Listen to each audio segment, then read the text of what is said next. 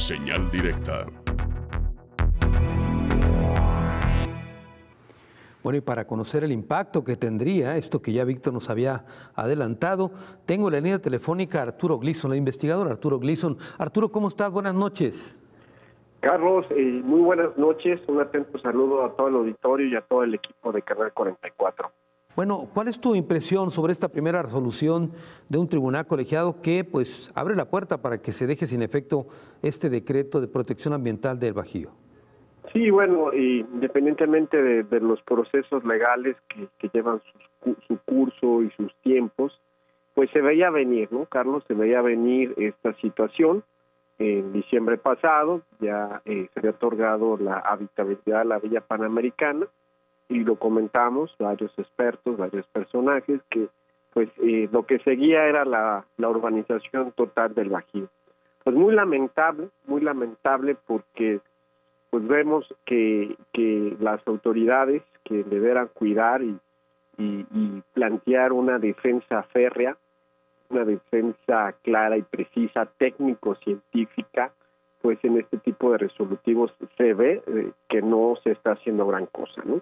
Y cosas tan puntuales como saber cómo se están comportando los flujos subterráneos de agua, cuál es la calidad de agua que hay ahí en, el Bajío, cómo están impactando ya las las fosas sépticas que están en el, lugar al agua subterránea, pues datos tan precisos que pudieran ser de peso para defender la zona del Bajío, pues lamentablemente brillan por su ausencia y pues nos dejan entrever que pues que eh, pues es lo que se quiere finalmente, ¿no? La urbanización del espacio. Arturo, ¿tú percibes entonces que este decreto de protección ambiental en realidad, eh, digamos, no fue elaborado con las bases técnicas suficientes para cuidar esta zona? Sí, por supuesto, y lo comentamos cuando se, salió, se promulgó el decreto, que hacía falta eh, profundidad técnica, lo dijimos varias veces en varios espacios, que pues en, términos eh, técnicos no había una justificación técnica fuerte que pudiera sustentar cosas tan esenciales como la contaminación del agua subterránea de los propios que van a habitar eh, el Bajío y de las personas que viven aguas abajo, colonias como Pueblo San Javier, Andares, toda esta zona poniente, eh, Ciudad Universitaria, de de Guadalajara, todas estas estas zonas pues van a, van a verse afectadas tarde que temprano por la contaminación del agua subterránea. Y todo esto, eh, a partir de ese decreto, no vimos un trabajo serio científico, monitoreo de agua, de agua subterránea, instalaciones de equipo, nada, nada se hizo. Y pues ahorita está la consecuencia de, un, decreto eh, débil, sin fundamento, bueno, pues ahora pues es fácil de tumbarlo, ¿no? ¿Qué estaría en juego, digamos, ambientalmente hablando, si se llega a concluir que se pueda permitir, como advertía Víctor, la parte legal, que se urbanice toda la zona del Bajío? ¿Qué estaría en juego? yo creo que a corto plazo la seguridad de quienes habiten ahí, ¿no? Eh, eh, en cuanto eso se termine de urbanizar en un horizonte de 5 a 10 años, esa zona tiene comportamiento como una como un tazón de sopa, eh, una cuenca así se le llama, cerrada, en donde pues la lluvia va a caer ya y como la vocación del territorio era la absorción del agua, ahora va a estar impermeabilizado y esa agua va a saturar las plantas de tratamiento, las cosas sépticas y se va a convertir en una laguna de aguas negras. Entonces, por un lado, las personas que iban ahí, pues tienen que ir pensando en comprar, aparte de su departamento, unas lanchas y también eh, evitar que, que en un momento dado, yo no lo quiera, pero pues eh, perezcan ahogados, ¿no? En algún momento que, que se inunde el bajío, ¿no?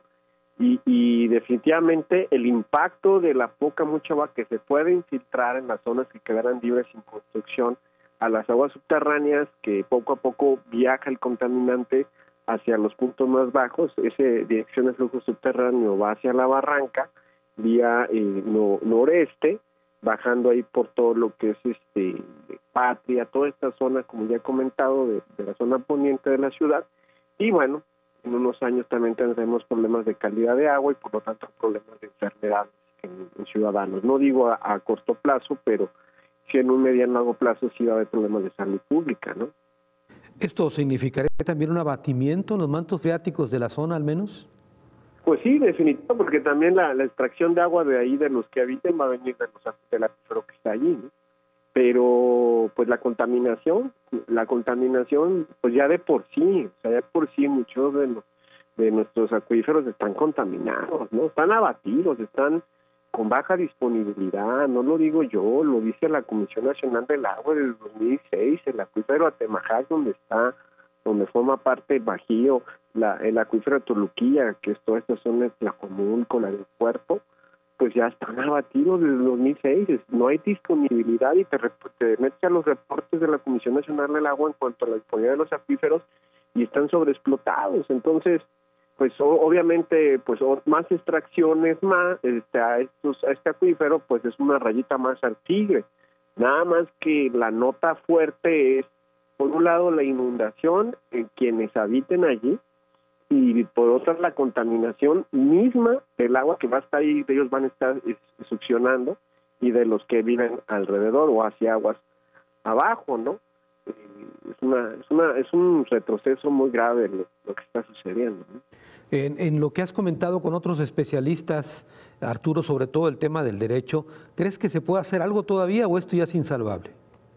Bueno, yo creo que como he, ciertamente, como dices, he estado consultando con especialistas en derecho, y hay estrategias, y si hubiera una voluntad férrea, ¿no? Una voluntad clara, en este caso le compete al gobierno estatal, al municipal, defender la seguridad de los ciudadanos, de los que ya están allí, de los que van a llegar.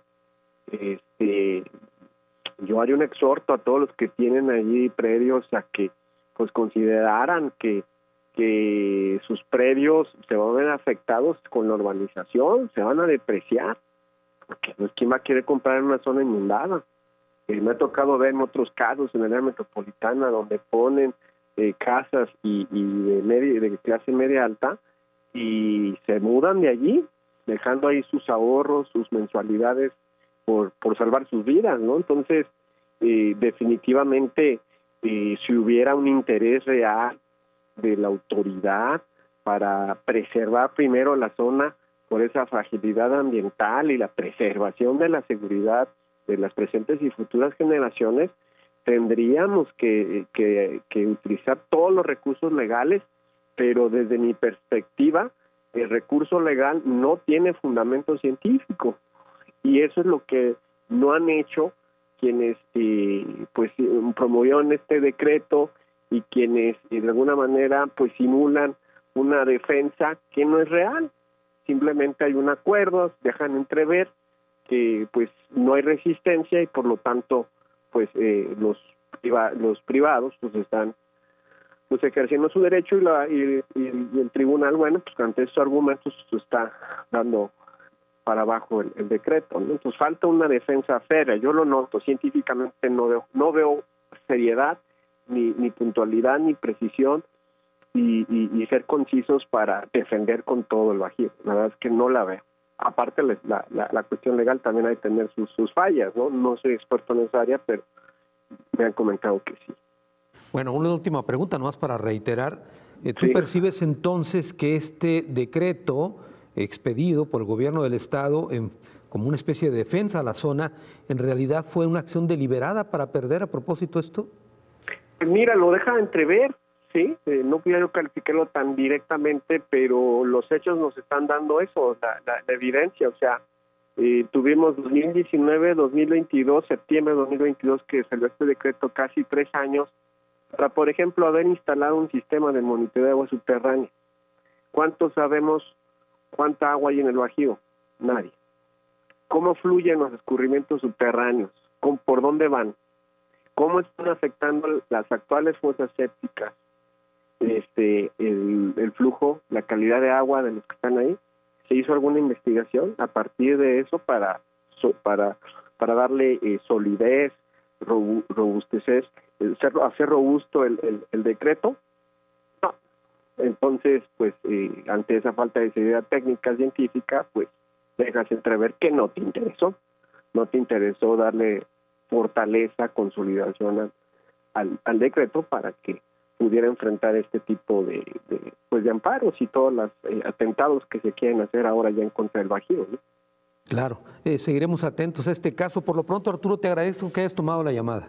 A tus órdenes, Carlos, y un saludo al auditorio y al equipo de Canal 44. Muchas gracias. Buenas noches. Arturo Glisson, investigador de la Universidad de Guadalajara.